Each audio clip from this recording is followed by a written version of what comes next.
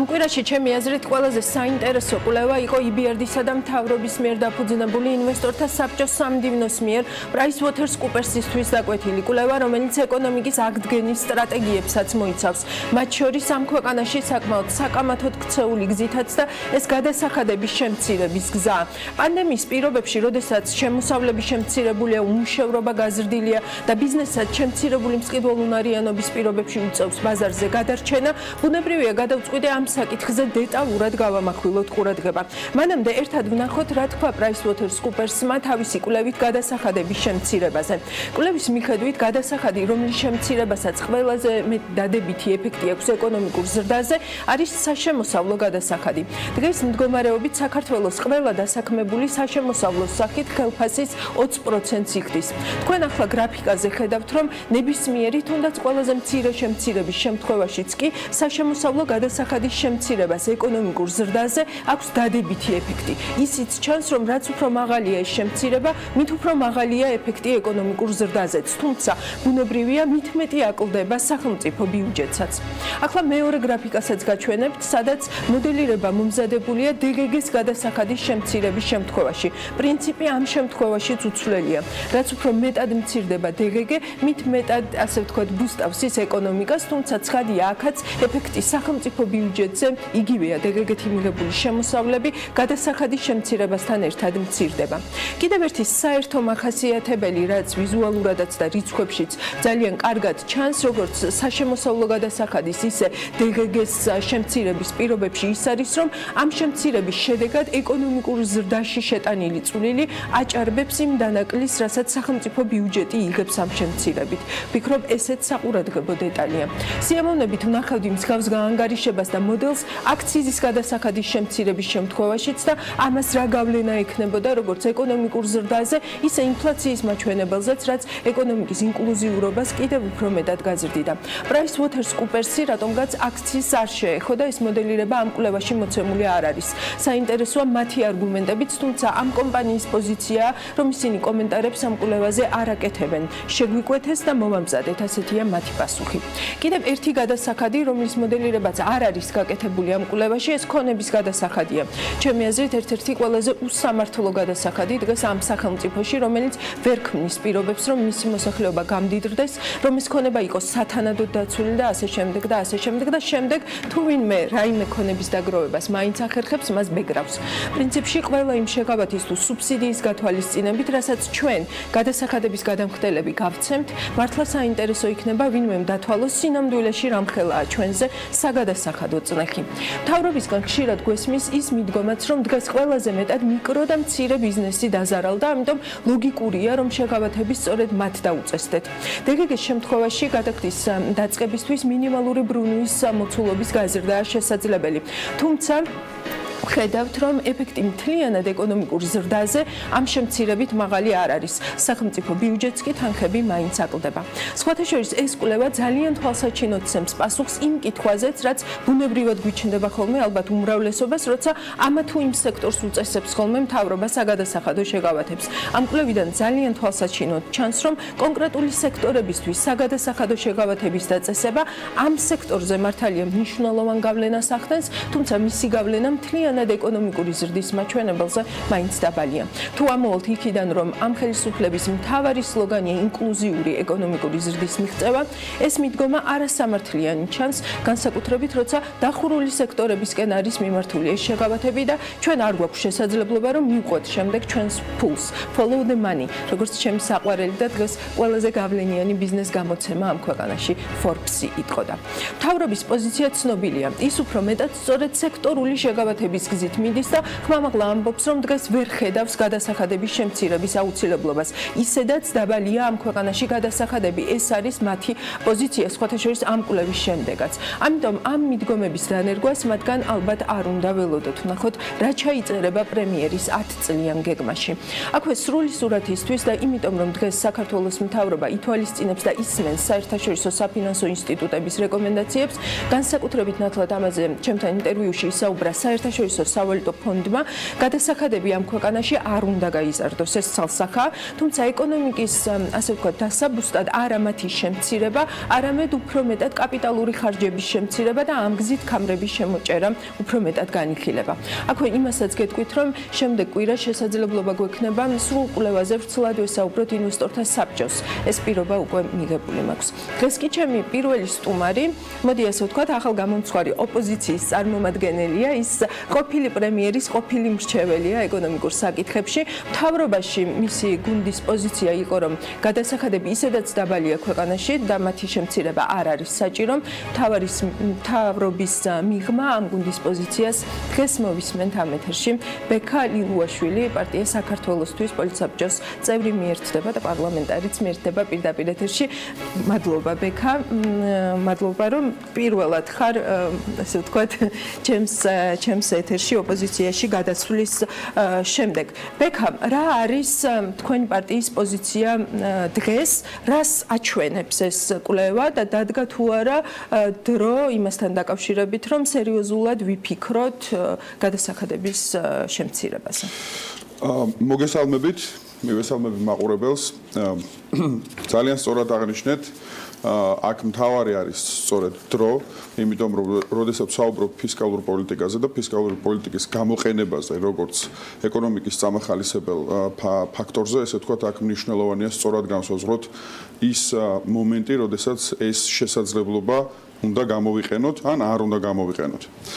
ეხლა რა შეიძლება ეს მოდელი რომ ჩაგვეტარებინა და უშუალოდ სხვა პირობებში სხვა შედეგს მივიღებდით, ანუ არ მივიღებდით იმ შედეგს, რაც მოდელის პირობებში დადგა ამ კვლევის საფუძველზე, რომ გადასახადების შემცირება უპირობოდ ეკონომიკურ ზრდას ეხმარება. მე აუცილებლად უთხრა საზოგადოებას და მაყურებელს ისიც რომ აღნიშნული მოდელი და ზოგადად კვლევა სწორედ მათ შორის როცა გიორგი გახარა იყო პრემიერ-მინისტრი და მე ვიყავი მის ეკონომიკური მრჩეველი ჩვენ ინვესტორთა საბჭოსთან ერთად შევუკვეთეთ PwC-ს. ანუ თქვენი თქვენი მთავრობა დაფიქრდა ხომ არ ღირს გადასახადების შემცირებით? ეს ეს არა ეს ამაში არ არის არაფერი ამაში არაფერი არ არის მაშინვე როცა ამბობდით რომ გეტყვით გეტყვით. ხო არ არის ეს დრო კი რა თქმა უნდა მეც კითხავს ჩვენ როდესაც გიორგი გახარი იყო პრემიერ-მინისტრი, მაშინ არაერთხელ მოგვიწია საგადასახადო პოლიტიკის საკითხებზე საუბარი სხვადასხვა პლატფორმიდან, მათ შორის პარლამენტიდანაც, სადაც აქტიურად მიდიოდა ესე ვთქვათ შემოთავაზებები ოპოზიციური პარტიების მხრიდან,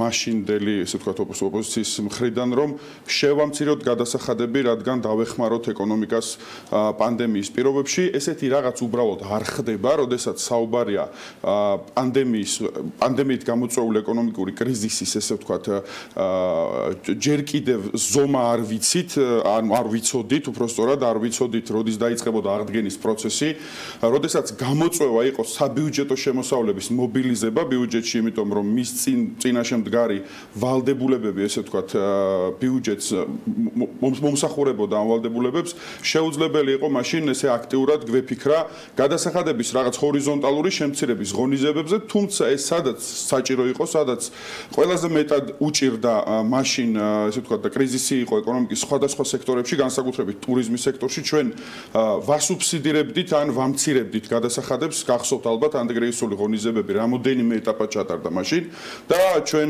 დავასუბსიდირეთ თუ შევამცირეთ მაგალითად ქონების გადასახადი, გავათავისუფლეთ შემდეგ ქონების გადასახადი და საერთოდ სექტორი. კი, თუმცა ჩვენი შეფეთილი კვლევა აჩვენებს, რომ ეკონომიკურ ზრდაზე, ანუ ჯამში ზრდაზე დიდი გავლენა მას ამ ამ კვლევის დამკვეთები. კი ბატონო, მაშინ ესე ვთქვათ, მაშინ პირველი რიგის ამოცანა, პირველი რიგის ამოცანა იყო სექტორების გადარჩენა, შემდეგ მოდიოდა ბუნებ ეკონომიკურ ამოცანებს გულისხმობ, ხო? მეორე რიგის ამოცანა იყო მინიმიზაცია ეკონომიკის მთლიანი დანაკარგების, მათ შორის საბიუჯეტო დანაკარგების, სწორედ აი ამ ორი მიზნის კომბინაციით იღებოდა გადაწყვეტილებები ეკონომიკის ნაწილში, ამას რა თქმა უნდა თანახდა ჯანდაცვის ნაწილში საჭიროებები ახალი, მათ შორის ფინანსური, რაც ბიუჯეტში უბრალოდ არ იყო შემცირებული შემოსავლებიდან გამომდინარე, შეგახსენებთ, რომ დაახლოებით 2 მილიარდი ლარი დააკლდა ბიუჯეტ საგადასახადო შემოსავლების ნაწილში ამ მხოლოდ პანდემიიდან და ეკონომიკური კრიზისიდან გამომდინარე. ეხლა მე მინდა უბრალოდ გავყვეთ ესე ვთქვათ ქრონოლოგიას და მივიდეთ რა იყო მათ შორის შინაარც და ჩანაფიქრი ამ კვლევის ჩვენ მაშინ გახსოვთ თანამშრომლობდით როგორც ვაშინგტონის სკოლის ესე ვთქვათ დელოიტის ექსპერტ წარმომადგენლებთან ექსპერტებთან უცხოელ ექსპერტებთან პოსტკრიზისული გეგმის ნაწილი. ამავდროულად თანამშრომლობდით ინსტიტუციურ ეკონომისტებთან რომლებიც უფრო სხვა ხედვები აქვთ ესე ვთქვათ ეკონომიკური განვითარების რატომ? ამას ქონდა კონკრეტული ასე ვთქვათ მიზანი პანდემიის შემდეგ მნიშვნელოვნად შეიცვლებოდა ეკონომიკური გარემო და ეს იყო მოცემულობა და ეს დღეს უკვე აშკარა ხდება ეს პროცესი ჩვენს ირგვლივ და ჩვენ გვჭირდებოდა ყველა პერსპექტივით დანახული შესაძლებლობები, რომლებსაც ჩვენ ამ სხვადასხვა ხედვიდან ავიღებდით და მოვახდინეთ ამის იმპლემენტაციას. ამ პროცესის ერთ-ერთი მიმართულება იყო PwC-ის PwC-ის კვლევაც, რომელიც ჩვენ შევკვეთეთ იმიტომ, რომ დაგვენახა პოსტპანდემიურ პერიოდში ეკონომიკური თქვენ როგორც ახსენეთ დაბუსტვის ყველაზე ეფექტიანი ინსტრუმენტები რა შეიძლებოდა ყოფილიყო. აა ეხლა უკვე ხა მე ცალსახად ან ამდენი ხანია უკვე აღარა ვარ დაუშვათ არც ეკონომიკური მიმართულებით აღმასრულებელი ხელისუფლების საქმიანობაში ჩართული, მაგრამ დღეს უკვე შემიძლია ჩვენი გადმოსახედიდან გითხრათ ის რაც რაც ჩვენ დავინახეთ მთელი ამ კვლევების და ეკონომიკური პროცესების განვითარების პარალელურად და მივალ თქვენ თავად ეხამდე. უბრალოდ უბრალოდ გასათვალისწინებელია თუ არა? აი ეხლა როგორ უყურებთ ჩვენ ამას ჩვენ პროგრამაში, რომელიც ძალიან მალე ჩვენ ცენტრალური საკითხების თქვა ამ პროგრამის უკვე ვისაუბრეთ, მაგრამ თვითონ პროგრამა ხელმისაწვდომი იცით რომ ინკლუზიურად ვაპირებთ ამ პროცესის წაყვანას ჩართულობის უზრუნველყოფით, მაგრამ პირველად ესე ვთქვა დრაფტი, ასე ვთქვა და უხეშად რო ვთქვა ამ პროგრამის ძალიან მალე გამოქვეყნდება ცენტრალური საკითხი ეკონომიკურ სექციაში, ესე ვთქვა ამ პროგრამის სამ ნაწილად იყოფა. პირველი ეს არის საინვესტიციო პოლიტიკა, რომელსაც მე მათ შორის ვიძახი პარლამენტში პირველი დღიდან, როცა მივედი, მაშინ ჯერ კიდევ გახარა იყო პრემიერ-მინისტრი. ვიძახი რომ ჩვენ გვჭირდება ახალი საინვესტიციო პოლიტიკა და ეს გასაკეთებელია და სხვადასხვა შეთავაზებები ინვესტორისთვის ანუ პირველი ცენტრალური საკითხი ეკონომიკური განვითარების ნაწილში ეს არის საინვესტიციო პოლიტიკა მეორე მეორე საკითხი ცენტრალური ეს არის სწორედ საგადასახადო პოლიტიკა როგორც გადასახადების განაკვეთების ნაწილში ცვლილების ნაწილში ასევე ადმინისტრების ნაწილში და მესამე საკითხი ეს არის რეგიონული პოლიტიკა ხო, რა თქმა უნდა, შემცირებას გულისხმობ. ოღონდ გადასახადების შემცირება ეს არ არის მარტივი საკითხი და არ ესე ვთქვათ, ამას ჭირდება ძალიან სკრუპულოზული შესწავლა, იმიტომ რომ როგორც PwC თვითონაც წერს თავის რეპორტში, გადასახადის შემცირება პირდაპირ პროპორციულად დაისახება ბიუჯეტზე და შეგახსენებთ, რომ მაგალითად დღეს ბიუჯეტის სტრუქტურით საშემოსავლო გადასახადი 3 მილიარდზე მეტია შემოსავლების ნაწილში, DGG თითქმის 5 მილიარდია შემოსავლების ნაწილში. კი, ზუსტად ამას ჭირდება. აქტივა ზუსტად თუ შეიძლება, ანუ შტაბეჭდილება ახლა ჩვენს მაყურებელს შეიძლება ექნება ასეთი, რომ როდესაც თქვენ იყავით ხელისუფლებაში, მაშინაც იყო ყოველთვის გადასახადების შემცირების დრო, უბრალოდ თქვენ კომფორტის ზონის დარღვევა არ გინდოდათ, იმიტომ რომ მაშინ გაკლდებოდათ საბიუჯეტო თანხები, რომლებსაც განკარგავთ. და ეხლა აგიხსნით რაზეც, ანუ რატომ ეს პოზიცია, იმიტომ კი შეიცვალა, რომ ვინმე ოპოზიციაში გადავიდა ან გადმოვიდა ან ხელისუფლებაში არ დარჩა. ეს პოზიცია შეიცვალა, უბრალოდ ჩამოყალიბდა, მე ესე ვიტყოდი, იმიტომ რომ სხვა ეკონომიკური რეალობა მივიღეთ ქვეყანაში და არა მხოლოდ ქვეყანაში გლობალურად. რატომ? როდესაც პანდემია და ეკონომიკური აღდგენის პროცესი ესე ვთქვათ იწყება და ეს აუცილებლად მოხდება, ხო? ტურიზმის სექტორი აღდგება, სხვა სექტორები ესე ვთქვათ და გლობალურად მოთხოვნა გაიზრდება და პროცესი დაიწყება. ამას ჩვენ გვაქვს ჩვენ ვართ ორი არჩევანის წინაშე, ხო, როგორც ქვეყანა. პირველი წავყვეთ დინებას და რა რა დინებაც რა რა ტემპერატურის დინება იმ დინებით ესე ვთქვათ გავიზარდოთ ჩვენს და გავზარდოთ ჩვენი ეკონომიკა და მეორე ეს არის ხელი შეუწყოთ, ანუ დაუბუსტოთ ეკონომიკური აღდგენის პროცესი, რომ ის რაც დავკარგეთ, პირველ რიგში ძალიან სწრაფად აღვიდგინოთ და მეორე რიგში მივახციოთ ჩვენ თავარ ამოცანას. ხომ ჩვენ თავარ ამოცანა რა არის? რო თქვით რომ მაგალითად იგივე როდესაც ჩვენ ხელისუფლებაში ვიყავით, მაშინ ჩვენ დეკლარირებულად ვთქვით, რომ 2024 წელს უნდა მივახციოთ იმას, რომ გავაკეთოთ განაცხადი დასაბუთებელი და არგუმენტირებული ევროკავშირის წევრობაზე. ხა ამას ჭირდება მათ შორის ისიც, რომ ჩვენი მოქალაქეების შემოსავლები რაღაც ევროკავშირის საშუალო მაჩვენებელთან ახლოს მაინც მივიდეს. ეხა ეს იცით ხო თქვენ ძალიან კარგად მოგეხსენებათ, რას ნიშნავს ეს? ეს ნიშნავს, რომ ჩვენ მინიმუმ ჭირდება ორნიშნ ეკონომიკური ზრდა, რომ სწრაფად მოვახდინოთ ამ შემოსავლების ზრდა და ეკონომიკა რაღაც 2-2.5-ჯერ გავზარდოთ. ხო, აი აი ეხა დავასრულებ, ნახეთ. და სწორედ კრიზისიდან გამოს მოსვლა და ეკონომიკური აღდგენის პროცესი არის ის ფუნდამენტი, რომელზეც შეიძლება და ყველაზე ეფექტიანი იქნება ეკონომიკური ბუსტის, ანუ ეკონომიკის ზრდის ხელშეწყობის პოლიტიკა დაშენდეს იმისთვის რომ სწორედ ორნიშნე ეკონომიკური ზრდის მიღწევა გახდეს შესაძლებელი და მათ შორის საგადასახადო პოლიტიკა გამოვიყენოთ ამ მიზნის მისაღწევად. ეს არის და ეს, ანუ ეკონომიკური გარემოს ცვლილებამ შექმნა ყველაზე ეფექტიანად ამ შესაძლებლობების მაგრამ რა შეიცვალა ასე რადიკალურად ამ ამ ეკონომიკურ გარემოში? იმიტომ რომ გასაგებია შეიძლება რაღაც ნაწილზე ვილაპარაკოთ რომ აქ სერიოზული გავლენა მოახდინა პანდემიამ, მაგრამ არის მთელი რიგი მიმართულებები, მათ შორის თქვენს მიერ ნახსენები, ასე ვთქვათ, ინვესტიციები და განსაკუთრებით პირდაპირ უცხოური ინვესტიციები, რომლის ნაკლებობასაც ამ ქვეყანაში, მათ შორის თქვენი მთავრობაში ყოფნის პერიოდშიც, ანუ ხა პანდემიას ნამდვილად ვერ დავაბრალებთ, იმიტომ რომ რამოდენიმე მაგალითს, რამოდენიმე მაგალითს, ნუ ჩვენ პერიოდს მოდი ხა ეხა უკვე უნდა გამომიჯნოთ მე ყოველ შემთხვევაში მე ესე ვცდილობ ხოლმე რომ გავაკეთო ხო მაგალითად გიორგი გახარიას ეკონომიკის მინისტრობის დროს ყველაზე დიდი ინვესტიციის მოცულობა შემოვიდა ისტორიულად 96 წლის მერე, ამას რა შევეხოთ, ნახეთ რა შეიცვალა. რამოდენიმე კი კი ანუ როგორ ვთქვა, ძირეული ამბავი მოხდა, მოხდა და მოხდება. პირველი ეს არის რა? პანდემიის პირობებში გლობალური ეკონომიკური კრიზისის ფონზე ყველა საინვესტიციო საზოგადოება, მოკლედ გლობალური ინვესტორების მხრიდან ხდებოდა კაპიტალის, ესე ვთქვათ, ეგრეთ წოდებულ საინვესტიციო სამოთხეებში განთავსება, ანუ ძალიან უსაფრთხო აქტივებში განთავსება. შესაბამისად, განვითარებადი ქვეყნებიდან ეს ინვესტიციების კონსოლიდაცია მოხდა, ანუ კონსოლიდაციას გულისხმობ, რომ წამოღება მოხდა, ამას მოყვა საინვესტიციო ნაკადების შემცირება. პანდემიის პერიოდში და ეს პროცესი მანამდეც დაწყებული იყო, იმიტომ რომ რაღაც რისკები იყო მომატებული. ეხლა აუცილებლად პოსტპანდემიურ პერიოდში ეს ინვესტიციები დაიწყებენ მაღალშემოსავლიანი ადგილების ძებნას გლობალურად და შესაბამისად ჩვენ ამითი მოგვეცა დამატებითი შესაძლებლობა ეს ერთი მეორე გლობალური ტურიზმის ესე ვთქვათ და გადაადგილების ჩაკეტვა გამოიწვია ის რომ ტურისტული სენტიმენტები დაგროვებულია საერთაშორისო ვიზიტორებში და აუცილებლად მოხდება ამ სენტიმენტების ძალიან სწრაფად ესე ვთქვათ აფასება. ხო, ანუ გლობალურად პროცესები ხდება ხელშემწყობი იმისთვის, რომ საქართველოს არ მოახდინოს ესე ვთქვათ სოფლიო ტემპით წასვლა ეკონომიკური გაჯასახების პროცესისკენ, არამედ გააკეთოს უფრო მეტი. რაც რაც უკვე გვაძლევს, ნახეთ, დავასრულებ. რაც უკვე გვაძლევს შესაძლებლობას მათ შორის გამოვიყენოთ საგადასახადო შეღავათები, რომელიც თავის მხრივ გამოიწვევს საბიუჯეტო დანაკლისს, თუმცა ამ საბიუჯეტო დანაკლისის დაბალანსება უკვე შესაძლებელი იქნება იმ ორნიშნე ეკონომიკური ზრდით. ანუ ისე ძველი ტერმინით მელაპარაკებთ, საგადასახადო შეღავათები, რაც უფრო მეტად სექტორებისგან თუ შემცირება, გადასახადო განაკვეთი შემცირებას გულისხმობ. თორემ მაგალითად ჩვენს პროგრამაში ერთ-ერთი ცენტრალური საკითხი ისიც არის, რომ აი ეს რაც შეღავათები, რაც თქვენ ახსენეთ და რაც ყოველთვის არის მოცემული და თუ გახსოვთ გახარიამ ეს პირველად გააჟღერა პარლამენტის ტრიბუნიდან ის შეღავათები სექტორული, რომელიც რეალურად ეფექტიანი აღარ არის, აუცილებლად უნდა გაუქმდეს და ამაზეც იქნება ჩვენ პროგრამაში საუბარი. აი ჰეივენი რომ ახსენეთ თქვენ და დაუშვათ ის ძველი ტენდენცია განვითარებადი ქვეყნებიდან, ასე ვთქვათ. ხო, ამ ჰეივენის ერთი დიდი ნაწილი არის და ეხა ამაზე ალბათ არ ვიკამათებთ, მათ შორის საგადასახადო სისტემაც. ცხადია, ამის ნაწილი არის კიდევ უფრო მეტად სასამართლო და ბევრი სხვა რაღაც, მათ შორის ადამიანური კაპიტალის არსებობა და ასე შემდეგ. ის რეფორმები, რომლებიც არასდროს არ განხორციელდა ამ ქვეყანაში, მაგრამ მაგრამ მათ შორის არის საგადასახადო სისტემა და ეს დაბალი გადასახადები, საგადასახადო რეჟიმები, შედარებით უფრო ლიბერალური არის ხელმისაწვდომი.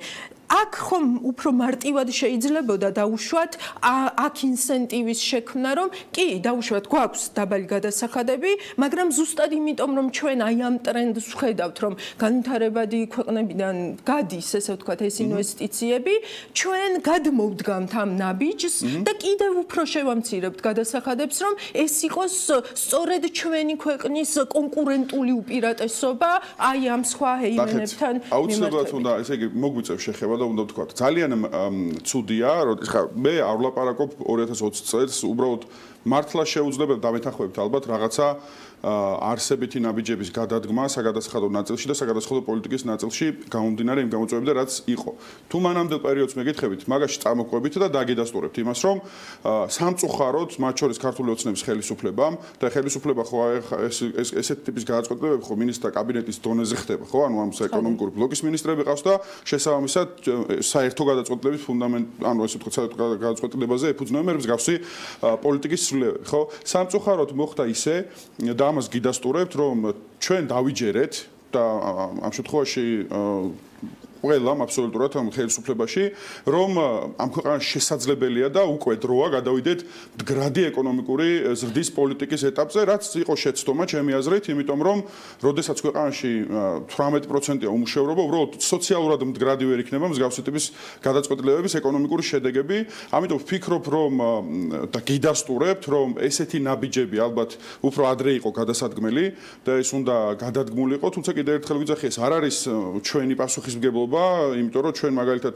როცა ამის გაკეთება შეიძლებოდა საერთოდ შინაგან საქმეთა სამინისტროში ვიყავით, თუმცა ვიზიარებთ გარკვეულწილად ამ პასუხისმგებლობას, იმიტომ რომ მათ შორის პროცესებში ჩართული ვართ. ერთი რაც ასე ვთქვათ აი პოლიტიკური პოლიტიკური პოლარიზაციის უბრალოდ პატარა რეპლიკას ვიტყვი პოლიტიკური პოლარიზაციის ესე ვთქვათ ძალიან დიდი უარყოფითი გავლენა ამ ჩემზეც მათ შორის როგორც ქვეყნის მოქალაქეზეც და ეს ჩანს არის ის რომ მაშინ როდესაც ეს საკითხი დღის წესრიგში იდგა არასდროს ეს საკითხი არ განხილულა სერიოზულად იმ პერიოდში და ვთქვათ რომ ესეც ძალიან დიდი პრობლემა არის ამ ამ ქვეყნას ეს ეპიზოდები არ არ მართლა არ მახსოვს ეხლა ვერ მუდმივად ოპოზიცია მუდმივად საუბრობდა იმაზე რომ გადასახადების შემცირება იქნებოდა ადგეს დღის წესრიგში და ასე შემდეგ.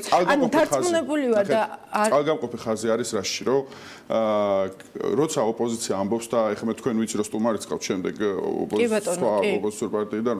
აქ საუბარი კი არ არის იმაზე რომ გადასახადების ანუ ოპოზიცია ამბობდა ამას ყოველთვის ესე რომ შეამცირეთ გადასახადები და ეს შემცირება დააბალანსეთ მაგალითად ბიუროკრატიის შემცირებიდან და საუბარი გვაქვს მაგალითად იგივე საშემოსავლოს გადასახადი PwC-ის კვლევიდან რო ავიღოთ, რომ შევამციროთ და კიდე სხვა მოდელებიც არსებობს დაახლოებით, აი 3 წელი რო გავანაწილოთ ეს შემცირება, ან 1 წელიწადში რო შევამციროთ, დაახლოებით 2 მილიარდ ნახევარ ლარზე ვლაპარაკობთ, მაგალითად 10% თუ გავანახევრებთ, დაახლოებით, ხო? მაგრამ ეკონომიკურ ზრდაში წვლილი კი, მესმის 2% 2 და 7%-იანი ეკონომიკური ზრდის ეს თქო დამატებითი მაჩვენებელია, მაგრამ ნუ ეხა შეუძლებელია უბრალოდ ამ ეკონომიკური მაჩვენებლით ამ დონის დანაკლისის დაბალანსება. არ არსებობს წარმოუდგენელი ამბავია. ამიტომ როცა ვამბობთ გადასახადების შემცირებას იქვე უნდა მივაყოლოთ ღონისძიებები რომელიც დააკომპენსირებს ან შეამსუბუქებს ამ დანაკლისს და შემდეგ უკვე გქონდეს ეკონომიკური ზრდის იმედი. ან მეორე რაც მე ახსენი მეორე მხარეა ის რომ შევამციროთ გადასახადები და ჩვენი მიზანი იყოს არა ერთი გადასახადის არამედ რაღაც გადასახადების ერთობლიობის შემცირება კიდე სხვა ბევრი ღონისძიება მათ შორის თქვენ სასამართლო ახსენეთ და მაგალითად ჩვენ გვიწერია ესეთი რამ რომ ნებისმიერ ინვესტორს იგივე საგადასახადო დავის ნაწილში პირდაპირ მივცეთ საშუალება რომ გამოიყენოს საერთაშორისო არბიტრაჟო ინსტრუმენტები რაც მნიშვნელოვნად მათ დამატებით კომფორტს მისცემს ესე ხო? აა ამიტომ როცა ვამბობთ გადასახადების შემცირებას აუცილებლად უნდა მოვაყოლოთ ყველა ის ღონისძიება რომელსაც ასევე ვახორციელებთ ან ამ დანაკლისის დასაბალანსებლად, ან იმ დოზის ორნიშნა ეკონომიკური ზრდის მისაღწევად, რომელიც თავისთავად დააბალანსებს ასეთ ტიპის დანაკლისს. ოპოზიციაში აშკარად უფრო საინტერესო იდეები გაქვთ, ვიდრე ამას ხელისუფლებაში ყოფნის დროს ახორციელებდით. მადლობა, ბექა, ბექა ლილუაშვილი, პარლამენტარი პარტია საქართველოსთვის პოლიტსაბჭოს წევრი იყო ჩემთან ერთად.